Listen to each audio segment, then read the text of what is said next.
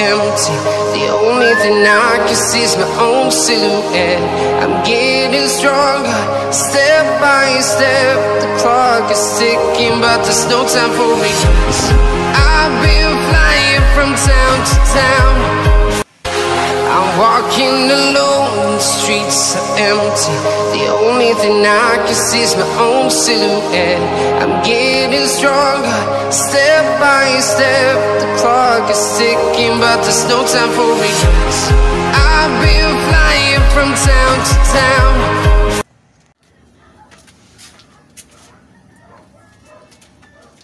So what's up mga kalapatids? Welcome back to my YouTube channel.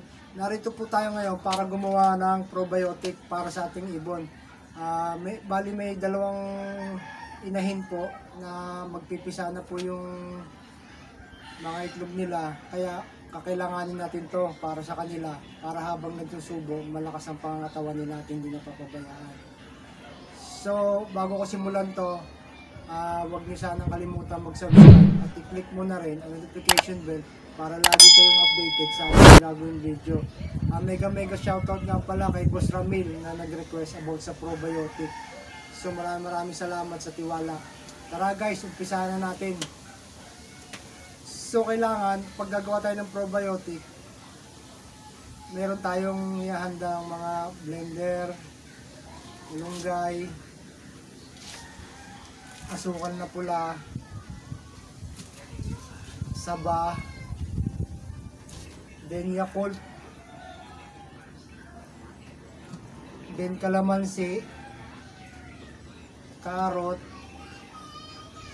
then asin, tsaka yung bigas po na binabad sa tubig. Ayan, mamaya po i-blend po natin yan. Mas maganda po kasi to kaysa sa mga mga binibili dyan sa tindahan na probiotic, hindi mo alam kung anong mga hinahalo nila. Kaya mas maganda ito, organic, tayo mismo ang gagawa. So unang-una, kailangan meron tayong isang basong tubig. Yan muna ang ilalagay natin. Yan, isang basong tubig muna.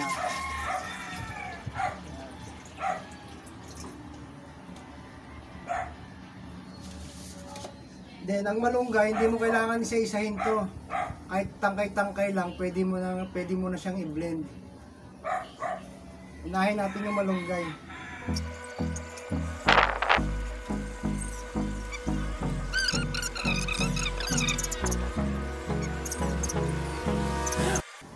Yan, yung bali hindi ko na ubusin.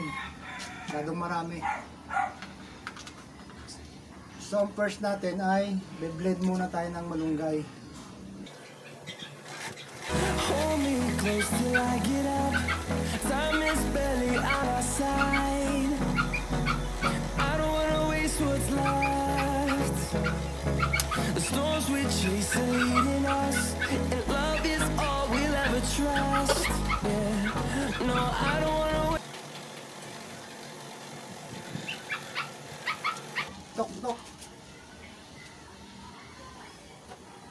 So, matapos natin i-blend, salin muna natin dito sa lalagyanan.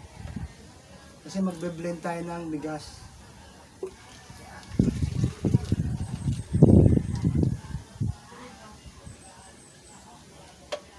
Ayan. Bali yung katas lang po ang kukunin natin.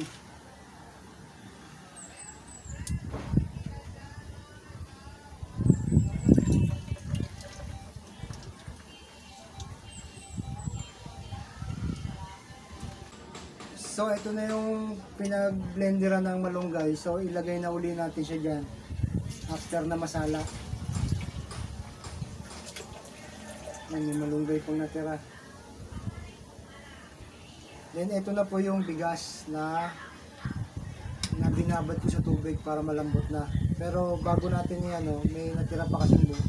Tanggalin muna natin yung natirang buo. Nabuhol kasi sa blender focus ng init.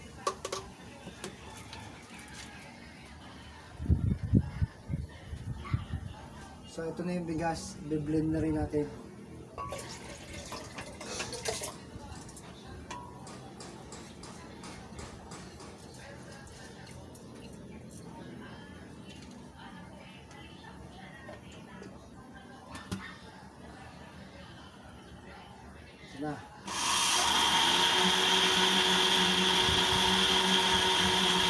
Kasama na po yung bigas sa, sa katas ng malunggay.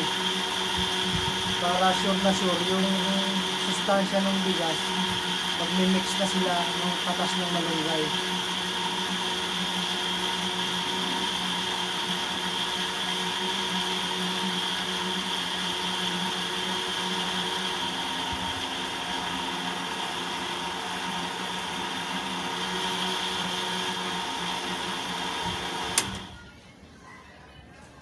Sure mo lang na halong-halo talaga at walang matitira.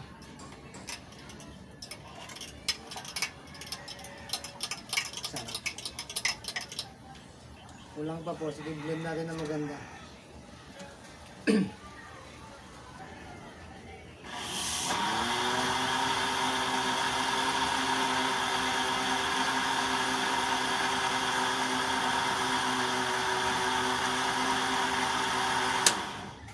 Yan.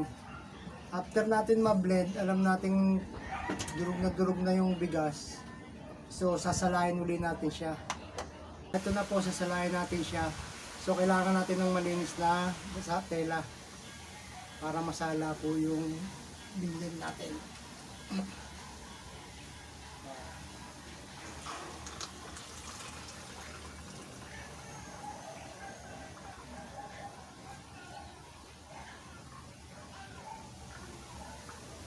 Sarap, parang gatas ha.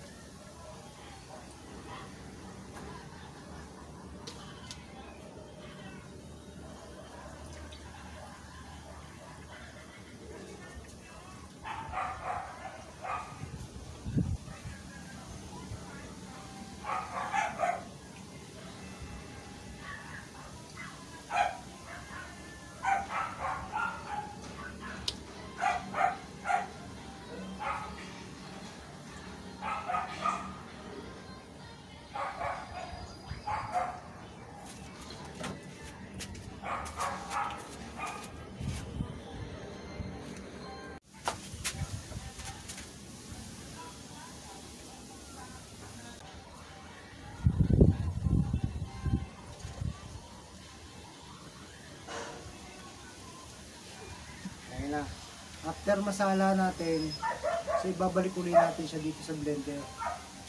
Yan. Salang-sala na po yan.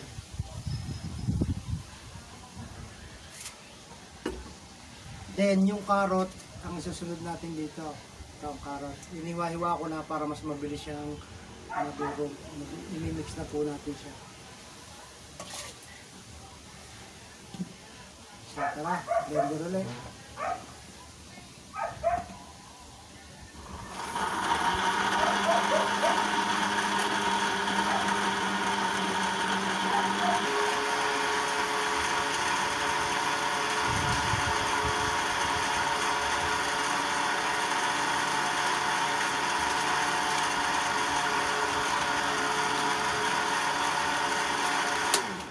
So after natin ma-blend yung carrot, siguraduhin po natin na wala siyang bubo. Ah, parang tubig-tubig na tubig na siya. Then, maglalagay na po tayo ng asukal na segunda mano. Ito po ang kailangan natin kaysa sa puti. Mas ma mas walang chemical po kasi ito kaya ito ang inilalagay. Dalawang, dalawang scoop lang po ng kutsara.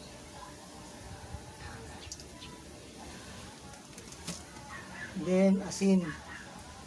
Kahit half spoon lang ng asin. Then, lalagay na natin yung banana. Yung banana. Wine lang po natin maliliit para mabilis siyang mabilis siyang mat-.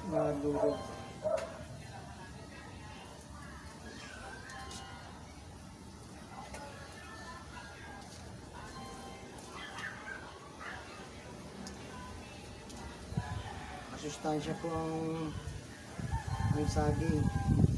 Maraming dala po yan sa benefit sa ating mga alagang ito.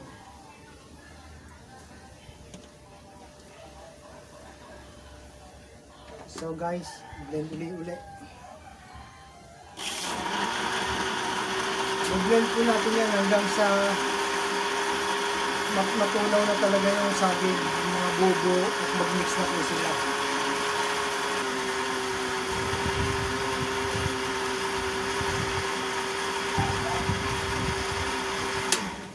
So guys, check ulit natin kung durog na talaga yung saging, saging saba. Pag alam na natin na durog, ang huling natin ilalagay ay yung Yakult. Dalawang Yakult po, probiotic po to.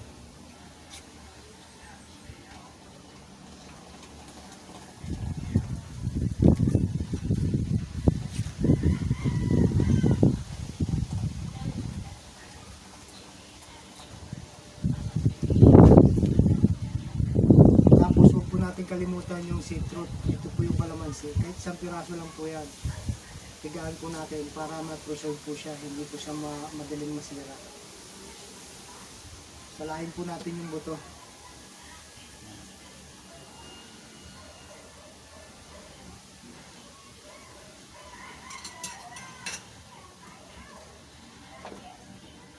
So guys, let's go! Ito na po yung final ng mix.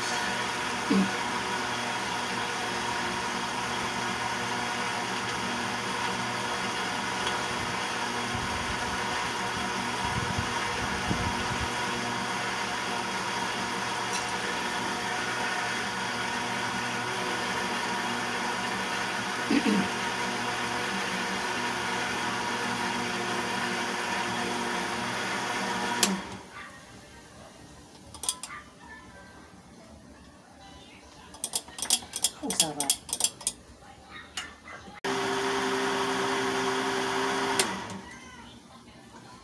So guys, ito na po, tapos na po. Isasali na po natin siya, siya lalagyanan.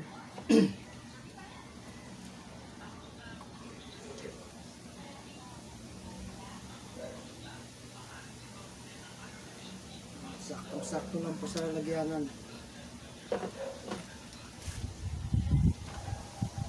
So guys, panatilin lang natin na matakpan po natin siya ng maayos, na hindi siya sisingaw. So ito na po guys, pero hindi po po natin siya pwedeng ipainom sa ating mga alaga ito dahil po i i, i ano muna natin to, i-preserve muna po natin to ng 7 days then bago natin ipainom sa kanila. So guys, dapat hindi naiinitan kung, kung saan yung pinakamalamig na parte sa bahay nyo doon nyo po siya ilagay. After 7 days po, bago nyo yan o. So guys, maraming maraming salamat. Sana may natutunan kayo.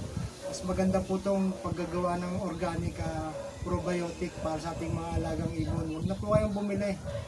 Ah, mas garantisado na mas mabisa to para sa ating mga alaga. Kaya mga kalapatids, maraming maraming salamat. See you in next video.